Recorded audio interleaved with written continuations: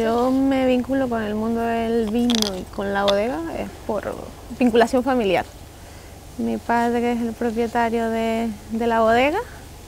Al principio esto fue un hobby. Mi padre siempre fue un enamorado del mundo del vino y al principio pues era una producción familiar y para los amigos.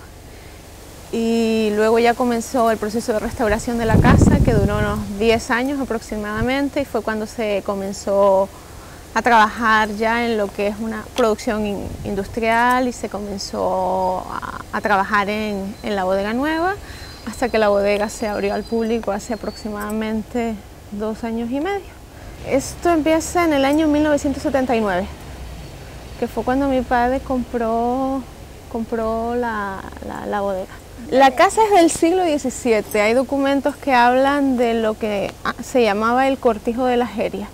En 1640 ya hay documentos que hablan de, de esta casa, de este cortijo, y si te fijas, esto es anterior a las erupciones volcánicas de Timanfaya, por lo que en esa zona, en la Jeria, no habían viñas. Era una zona, era un cortijo que se dedicaba a la, ganadería y al cultivo de, grano, que es, como todos sabemos, Lanzarote y Fuerteventura eran el granero de Canarias y había mucha lenteja y, demás.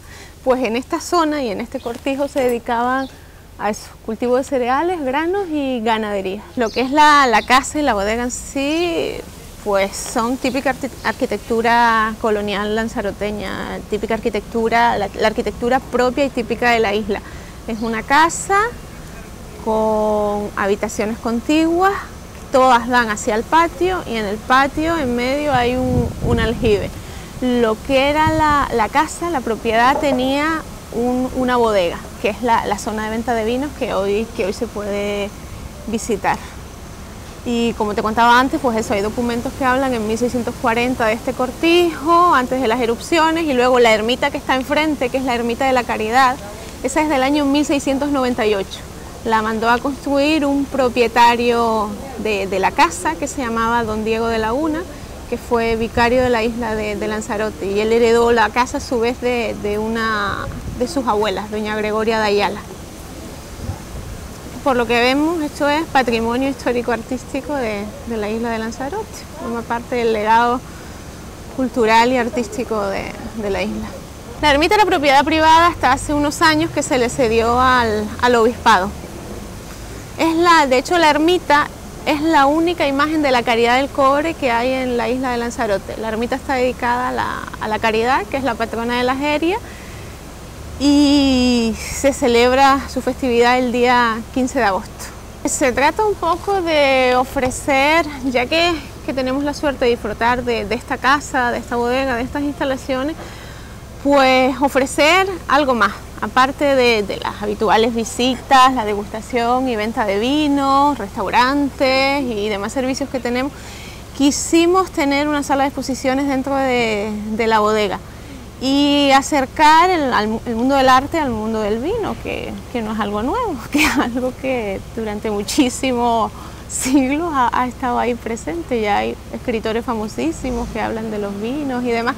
Entonces la, idea surgió un poco de, ahí, de tratar de, vincular y de ofrecer algo más, un espacio para, para los artistas que, tengan pues, un, lugar donde poder enseñar su obra y, que la gente se, acerque hasta, hasta aquí, que puedan conocer, a la vez que, visitan, conocen la Jeria, visitan esta casa, pues que, puedan ver arte también, no solo arquitectura y demás, sino que tengan los artistas plásticos, ya sean pintores, escultores, su propio espacio. El proyecto va a continuar, el proyecto va a continuar. Estamos, tuvimos un periodo de un poco en stand-by en este momento, pero la idea es continuar, nos queda muchísimo tiempo por delante para hacer muchísimas cosas. La bodega ofrece diferentes servicios, desde lo que son visitas, degustación y venta de vinos, cursos de cata, restaurantes, eh, eventos, tenemos lo que organización, todo tipo de eventos, de bodas, comuniones, tenemos una sala de conferencias para pues, presentaciones de productos, reuniones de empresas y demás. Y lo más importante, lo que yo siempre digo, la bodega está abierta al público todos los días del año de 10 a 8 de, la tarde y la visita es completamente gratuita. Cualquier persona puede acercarse y, pasar un día aquí en la Jeria, un día diferente. La visita normalmente es gratuita pero, pero no, no guiada. Sí es cierto que en la venta de vino nuestras compañeras siempre, siempre explican a, las personas que se acercan un poco de la historia de la bodega, eh, les explican un poco, pero mucha gente llega a la jería y esto le parece, claro, gente de afuera como muy insólito, tremendamente exótico, les explican un poco la forma de cultivo en la isla, la historia de, lo que es la propiedad y, y, le dan a degustar los vinos y a conocer pues, pues nuestras malvasías y nuestros moscateles. Tenemos una forma de cultivo que es única en el mundo, es algo completamente diferente. Y, eso que también creo que es una de las cosas que a toda la gente que llega de afuera más, más les llama la atención y más les gusta. Les parece insólito que eh, en medio del volcán, entre ceniza volcánica, pueda crecer nada y mucho menos, y mucho menos que, haya uva, que, que hayan parras. Les parece algo, pues eso, como te dije antes, de lo más exótico creo que tenemos un, legado que hay que, hay que conservar y que hay que, proteger. Uno de los grandes problemas que tenemos es que la media edad de los viticultores lanzaroteños es bastante alta. Tenemos viticultores de 75, 80 años. Entonces, si, si, si ese conocimiento no se transmite a una siguiente generación, se va a acabar perdiendo. Y de hecho ya vemos que hay mucha gente que, que abandona su finca y eso es lo que, lo que hay que evitar, hay que transmitir ese conocimiento para que, para que no se pierda. La bodega tiene una, unas 30 hectáreas propias. Eh, las variedades más características aquí son las que todos conocemos, la, la malvasía y, los, y, la moscatel. La malvasía pues ya sabemos que da unos vinos excelentes dentro de la de, los vinos blancos son vinos de una excelente calidad, es una uva muy pequeña pero muy aromática, muy afrutada y eso se, transmite al, producto final. Y luego la, moscatel da vino, bueno, eh, como yo digo siempre, el moscatel quien, quien lo prueba repite, porque es un vino que, gusta a todo el mundo, incluso a aquellos que, se niegan a, a probar vinos dulces. Nosotros concretamente tenemos varios malvasías, malvasía seco, semidulce, rubicón. Y luego tenemos un malvasía seco que tiene un porcentaje de fermentación en barrica que es el, el amalia. Esa es la diferencia entre un rubicón seco y un amalia seco, que el amalia tiene un porcentaje de fermentación en barrica.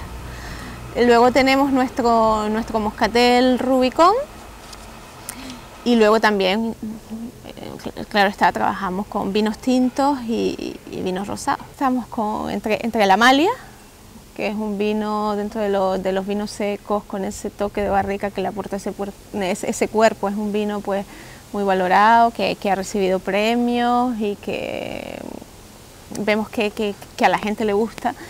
Y luego tenemos nuestro, nuestro moscatel que también ha recibido infinidad de premios. De hecho, la bodega en, este último, en estos últimos meses hemos recibido, pues desde en Viena, en noviembre, recibimos la, la medalla de plata, el mayor concurso de vinos del mundo.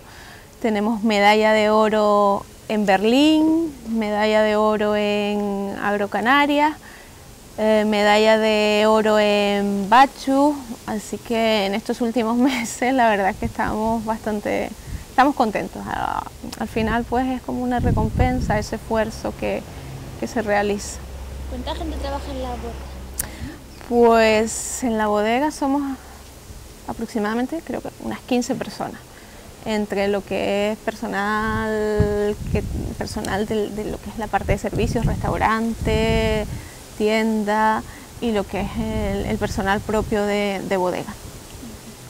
Espero que, como nosotros siempre decimos, la Jerez sea un lugar donde, donde el tiempo se detenga, porque esa es la sensación que tiene muchísima gente cuando viene, que qué quietud, qué, qué calma. Me parece un lugar, eso, donde la gente dice, cuando estás aquí sentado aquí afuera es un sitio donde, donde el tiempo se detiene.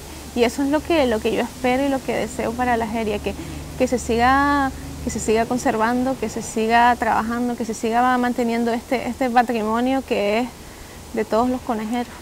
nuestro restaurante lo que se ha apostado es por la gastronomía local. Tenemos un menú, un menú donde podemos encontrar productos canarios y gastronomía canaria.